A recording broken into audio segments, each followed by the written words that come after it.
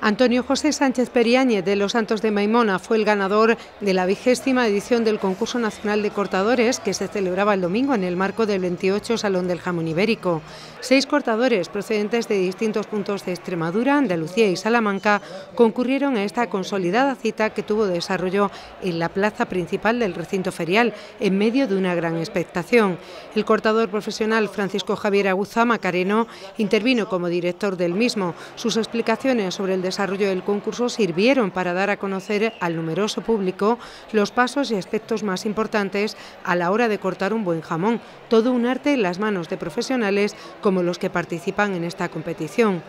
El jurado del concurso, integrado por Joaquín Vázquez Vega, cortador profesional de jamón con numerosos premios, Pablo Montiel Enríquez, campeón de España el año pasado y ganador del Cuchillo de Oro en Jerez de los Caballeros, y Diego Domínguez Enríquez, estudioso del Ibérico y profesor de la Escuela de Hostelería de Alcalá de Henares, valoraron aspectos como el estilo, limpieza y rectitud en el corte, grosor y tamaño de las lonchas, presentación de platos, rapidez en el trabajo, ración de 100 gramos, plato decorativo y presentación de una de las distintas partes del jamón.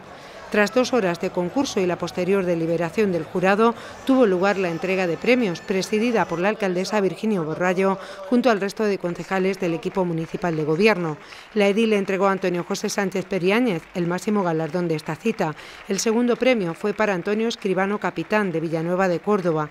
El tercero correspondió a José Delgado Ortiz, de Sierra de Fuentes, Cáceres, mientras que Pedro Antonio Porras, de Chipiona, Cádiz, fue reconocido con el premio al mejor plato creativo.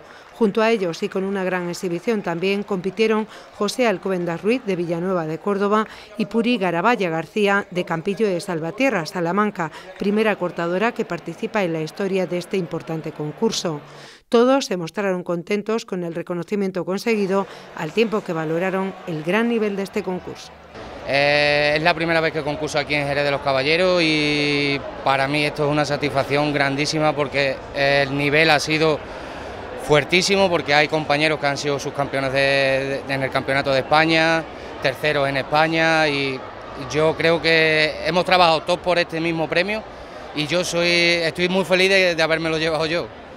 Sí, he concursado en la final de campeón ibérico en Jaén, que quedé primero, y el más reciente ha sido tercero en el Gourmet en Madrid, eh, que es el Campeonato de España del Gourmet. Sí, eso es, hombre, es un poquito difícil porque eso es más bien siempre cada, cada cortador más o menos tiene el grosor de su tamaño y, el tamaño de su loncha y casi siempre lo hacemos poniendo las lonchas más o menos que creemos que pueden hacer ese peso. Las lonchas van mm, sobrepesando sobre 5 gramos o por ahí, cuentan más o menos 24 o 25 lonchas, siempre va esa táctica más o menos la que la que eso. Lo único que hay que tener un poquito de lo que es la, eh, si es más estrecho el jamón, si es más ancho y ahí está creo que la dificultad. Los concursos lo que pasa es que es complicado en el sentido de que hay una presión detrás, tiene que tener un orden, una limpieza, una rectitud, un emplatado.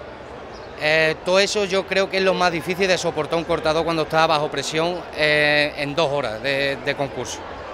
Es la primera vez que participo en Jerez de los Caballeros, pero yo ya soy un perro viejo en, esto de las series de la competición. Son muchos años y, siempre pues intentamos, depende del día, ¿no? Y hoy me he visto bastante, bastante bien, lo que pasa que no solo tú tienes que hacer un buen trabajo, sino que luego está el de los compañeros.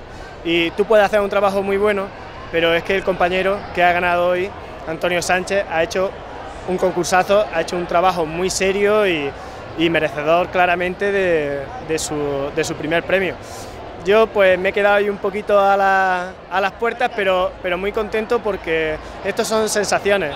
Muchas veces no hay, por, qué, ganar, pero bueno, depende más de, cómo se dé el día, porque depende mucho del jamón que tengamos, de si hace mucha temperatura, todo influye, que te sientas cómodo y yo ha sido un poquito en lo que menos he estado hoy, un estado un poquito incómodo, pero bueno, ha sido un buen día y, volvemos para casa con un segundo premio y, muy contento. Bueno, pues el nivel ha sido extraordinario, la verdad que todos los compañeros han estado a una altura grandísima. Eh, al final se ha podido conseguir un tercer premio, nunca te lo esperas porque el nivel de la competición es muy grande, es muy grande y bueno, pero al final se ha podido conseguir, se ha podido conseguir.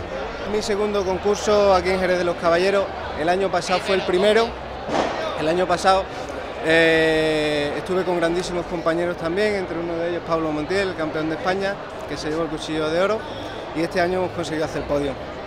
Lo más importante es realmente ir psicológicamente preparado, ir muy mentalizado y tranquilo en tu puesto de trabajo.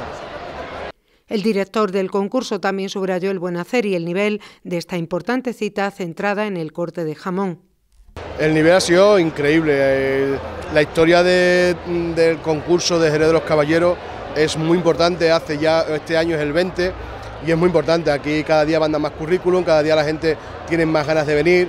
Solamente tenéis que ver el, el espectáculo tanto en el día donde se ha podido realizar, la cantidad de gente que ha venido este año ha habido un público, muchísimo público durante todo el día. Yo creo que todo ha sumado este año, tanto la colaboración del ayuntamiento con Infeje, los cortadores venían con muchísimas ganas, ha sido un total espectáculo todo lo que han hecho durante las dos horas y además acompaña el día la gente.